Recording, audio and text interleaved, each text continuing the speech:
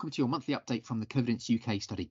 My name's Adrian Martineau and I'm the Chief Investigator based at Queen Mary University of London. In today's webinar, I want to review the treatment options that are being used by our participants uh, for management of long COVID. So why is this question of interest? Well, as I've covered in previous webinars, one of the aims of Covidence UK is to identify treatments which people are using within the study that associate either with better outcomes of long COVID or with more rapid recovery from the condition.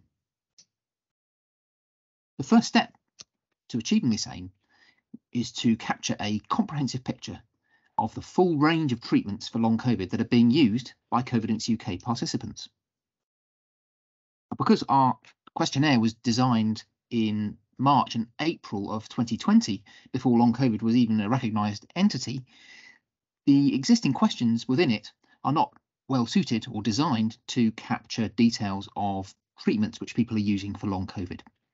We therefore need to develop some new questions for addition to the monthly questionnaire to capture the treatments that people are using.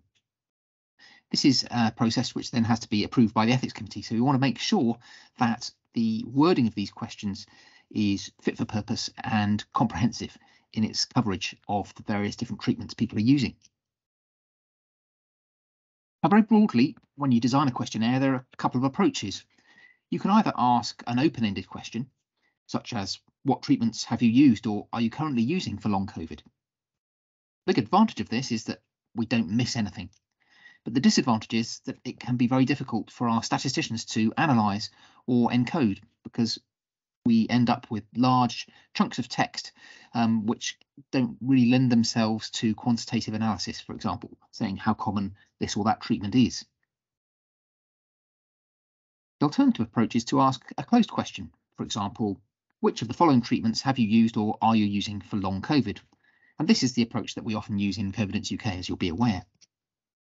The advantage of this is that it's much easier to analyse, but the disadvantage is that we might miss something. And this brings me to the point of this webinar, which is namely to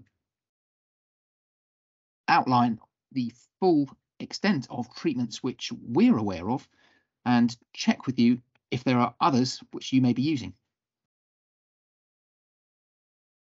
So the purpose of the webinar is to identify the full, full spectrum of long COVID treatments, and I'm going to list the main groups of therapies that we are aware of. But as I say, if anything here is missing, then please do let us know by emailing Sheena at covidence at qmul.ac.uk and we can then incorporate the treatments which you bring to our attention in the structured questions which we submit to the Ethics Committee for approval in the new year. Before I review the various treatments that we're aware of, I want to make it clear that I'm making no claim that any of the following have efficacy for treatment of long COVID.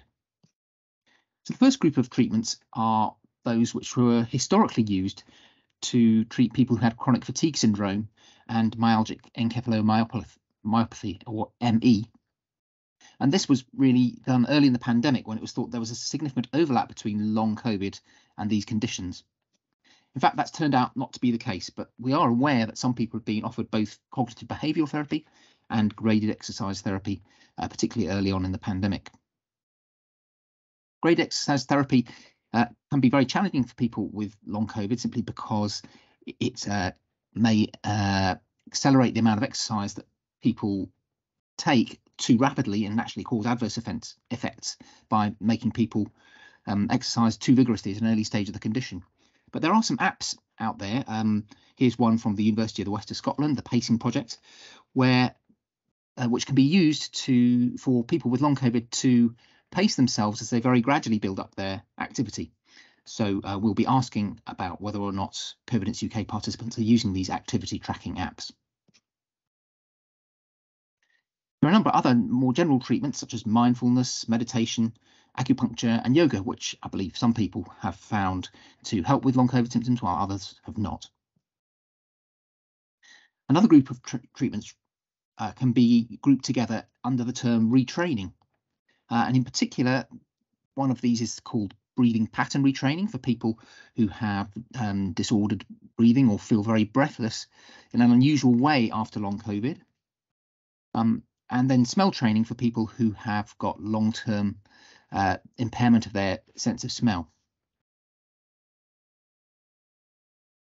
I'm aware that there are many diets which have been proposed as being beneficial in long COVID. A couple of, though more prominent, are a low histamine diet, illustrated here, and also the process of uh, intermittent fasting.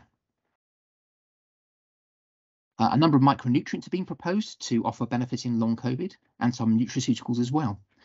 There are a wide range of these, but they include uh, various members of the B vitamin family, vitamin D, taulovir, Vedicinols 9, NAC, that's N-acetylcysteine, and EGCG. A number of pharmaceuticals have also been proposed to be uh, beneficial, particularly in certain subgroups of people with long COVID. Um, an infusion of antibodies to the inflammatory cytokine interleukin 6 is certainly being trialled, uh, and medicines including antihistamines, mast cell stabilizers, and in women, uh, hormone replacement therapy and hormonal contraception have all been uh, considered as potential therapeutic options in long COVID. Another option that's being investigated in an, at least one randomized controlled trial is so-called NVNS, which stands for non-invasive vagal nerve stimulation, in which a small clip is placed on the tragus, which is that part of the ear that you can see there, to provide stimuli to the vagus nerve um, and thereby uh, improve symptoms, particularly of fatigue has, has been hypothesized. Um, several other people uh, I'm aware of have been using hyperbaric oxygen therapy, again, particularly for central nervous system symptoms and fatigue. And another therapy which is being uh, used by some people within the cohort is HELP apheresis or heparin-induced extracorporeal LDL precipitation. So that's a brief summary of the treatments that we're aware of that people are using to treat COVID-19. But if there's anything there that we've missed, please do let us know by emailing covidence at qmul.ac.uk and we will include them in the structured questionnaires that we develop and send out to you in the new year. So all that remains is for me to thank you and all of the participants who contributed to the webinar today by uh, sharing information about the long COVID treatments that they have tried. I wish you all a good holiday and look forward to seeing you again in the new year. Goodbye.